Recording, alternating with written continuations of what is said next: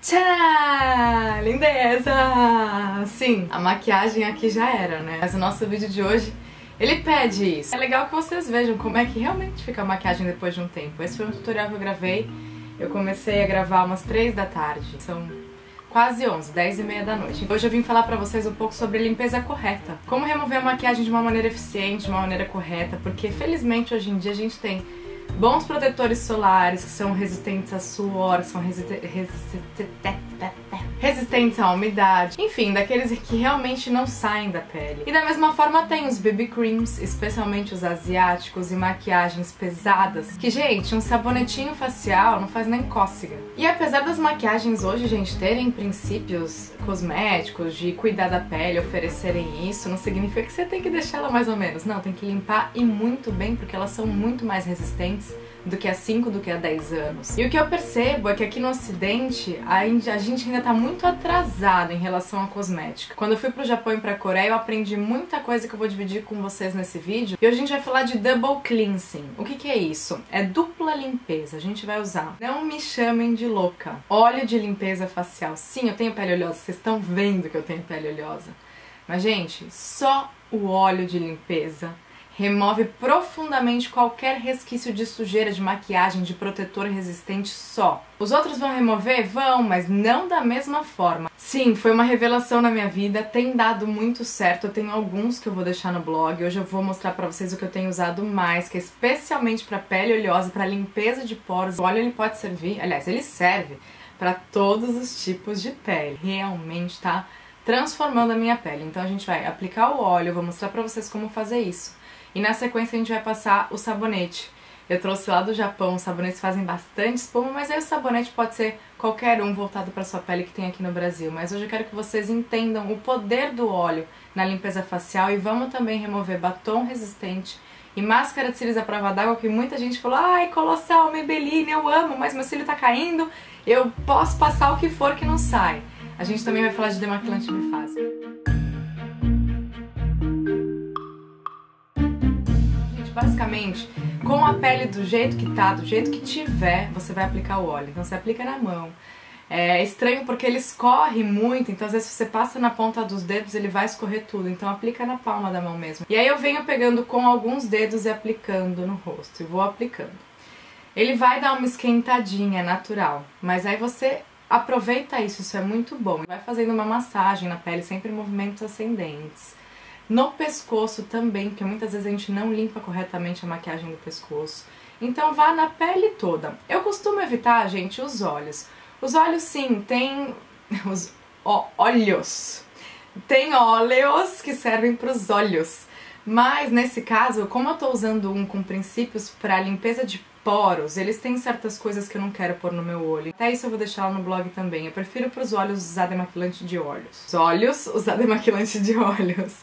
E os lábios fica a seu critério. Pode tanto passar o óleo ou o demaquilante bifásico.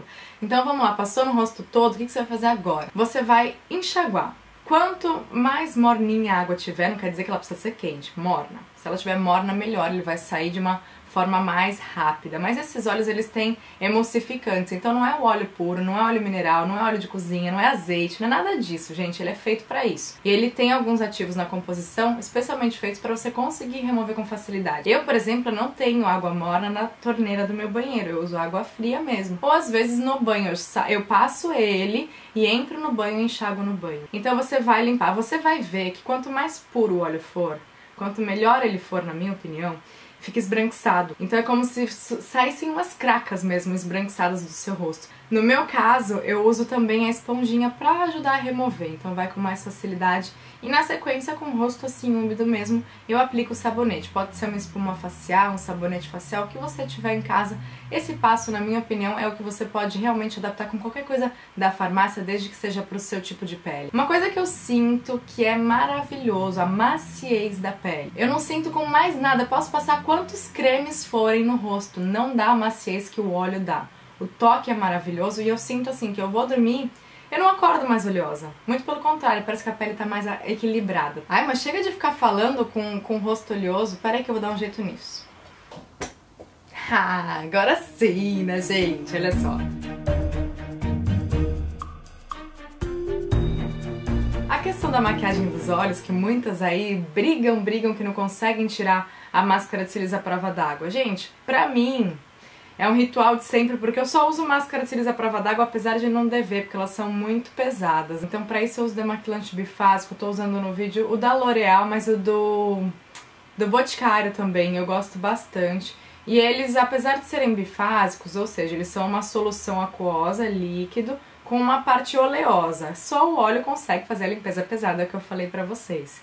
Então passa, chacoalha bem para misturar os dois lados, põe no algodão e aplica no olho com movimento suave. Gente, não vai fazer uma esfregação do seu olho. E, gente, a velha história da paciência. Eu passo lá uma vez, eu deixo amolecendo, já vou passando do outro lado e vou revezando. Aí eu gosto de passar bastante água quando já tá quase pronto, se precisar eu vou lá e retoco, pego um algodãozinho novo, faço tudo de novo. E na hora do sabonete já passo em cima tudo de novo, daí sai, olha, não fica aquele pretinho aqui embaixo. E olha que a quantidade de maquiagem que eu tava não era brincadeira. Os cílios postiços, vocês viram, eu só puxo do cantinho, sempre do cantinho de fora pra dentro, com delicadeza, né, gente? Que às vezes puxa um seu junto, acontece. Mas tudo bem, agora vocês já entendem mais ou menos como eu faço. Mas o do olho, gente, é dedicação, é paciência e um bom demaquilante bifásico, porque realmente ele consegue fazer a limpeza pesada.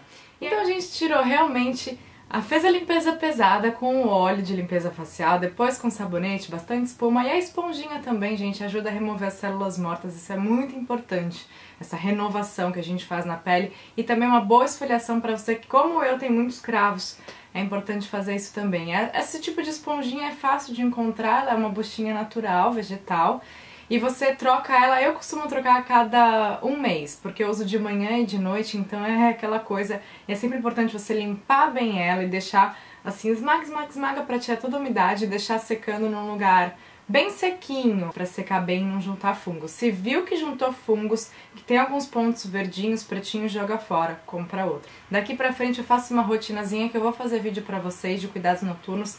Também marquei dermatologista, então que ela me falar eu já conto pra vocês. E a gente faz então um vídeo atualizado dos cuidados da noite, que eu sei que vocês estão querendo, mas é que realmente, gente, tô esperando ir na dermato, que assim eu consigo falar o que eu vim usando nos últimos tempos e o que, que ela me recomendou. Pra quem tá querendo, ai, ah, onde eu compro e tal, não sei o que lá, lá no blog tem as lojinhas que eu conheço, vendedor no eBay que tem esse tipo de produto. A MAC tem óleo de limpeza facial, é fácil de encontrar, qualquer loja da MAC tem. Tem a versão travel size, que eu deixei no blog também foto, e tem a versão maior, então aqui no Brasil, que eu saiba, tem na MAC. E que vocês entendam que realmente a limpeza é muito, muito, muito importante. Sabe, se a sua pele não estiver extremamente limpa, nada de cosmético que você vai passar depois vai penetrar tão bem. Entendeu? Então se você quer que seu creme faça efeito, sua pele tem que estar muito limpa, seus poros têm que estar muito limpos, as células mortas têm que ter ido embora, senão não acontece quase nada. Vai melhorar? Vai. Mas aí não vai atingir o máximo da performance, por melhor que seja o creme. Hum? Entendeu? Eu, pelo menos, quando, mesmo quando eu não tô maquiada, eu uso óleo de manhã quando eu acordo para remover o sebinho facial. E os meninos também podem fazer essa rotina de double cleansing, sim. Reduziu minhas espinhas, eu sinto que os meus poros estão um pouquinho melhores, os cravos não estão aparecendo tanto. Resolver o problema não vai resolver porque eu nasci com esse tipo de pele, então morrerei com esse tipo de pele, mas dá pra controlar alguma coisa e essa é uma rotina que tem me ajudado muito, até minha pele parece mais clarinha e mais uniforme. Um beijo no seu coração de cara lavada e eu te vejo no próximo vídeo. Adorei rodar.